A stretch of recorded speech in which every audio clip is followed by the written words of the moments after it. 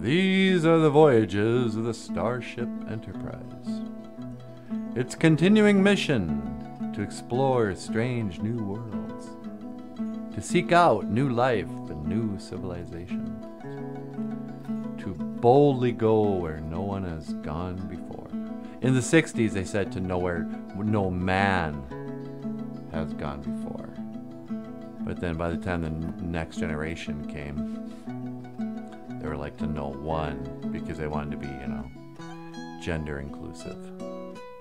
Also, in the future, everybody's called Sir. If you believe everything you see on Star Trek, even the ladies, they call them Sir. They don't call them Madam or Ma'am or whatever. Apparently, that's sexist. They don't use money in the future. Everyone has a job, but except for gold plated latinum that you can gamble.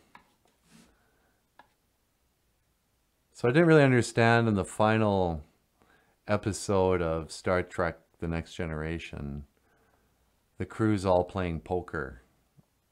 You know, old 20th century cards, chips, no drinks. They're just sitting around this tiny table playing poker. Like, you guys are playing blackjack and you don't have money. I can't think of anything more boring than that. Anyway, how you guys doing? I'm doing great. Put out kind of a emotional prayer video just now. Um, I don't know if I want to talk about it. Probably not. What do I want to talk about? I didn't get the job. I applied for a job a couple weeks ago. And when I wrote the letter, I said two reasons I'm writing. Number one, I really need a job. Number two, I happen to be perfect for it. It was an outreach, whatever, you know. All these stupid grant funded things have weird jobs that I've, I've done these kind of jobs. Native American Outreach Coordinator, but Region 2 Arts Council. They give out grants to artists, and they needed somebody who knew the Native American community and the arts and could bridge the gap and encourage and help facilitate giving out yet more free money to Indians. and I was like, hey, I can do that. Plus, it was only half time. So I knew I, I could still do the show. And uh, it was enough money. Not not enough to take seriously. But I would go, okay, good.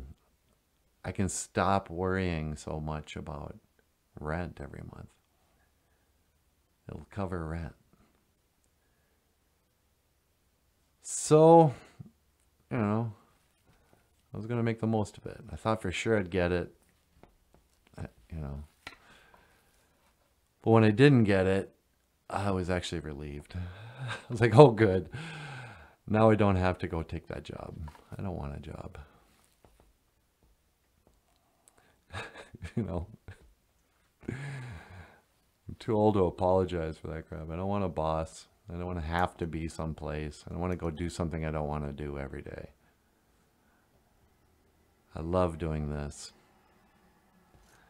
Maybe someday enough people will find our little show and order, you know, Ojibwe language words and phrases for their school.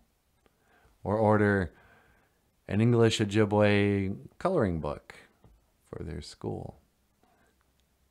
Or invite me to their school and pay me to tell stories, sing songs, teach Ojibwe. But until that day, I'll just be here. All right. You've been watching Quitting Weed, number 14. Appreciate it. Miigwech ga bizendawieg. Thank you for listening. My name is Michael Lyons, and I will see you again. Gigawabamin. Minowa. Oh.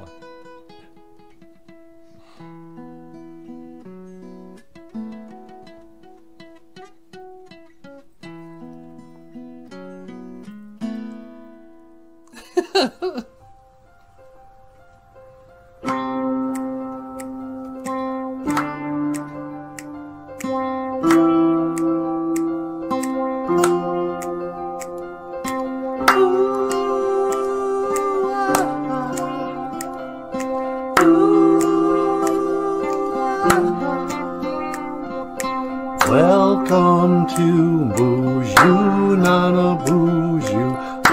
podcast about Ojibwe language and culture too. I'm happy to be here with you today. To speak Ojibwe.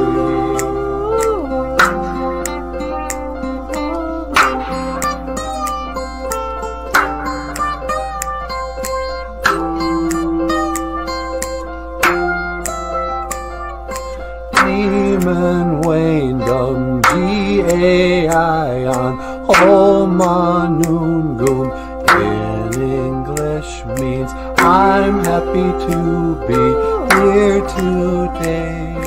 That's all I wanted to say in Ojibwe.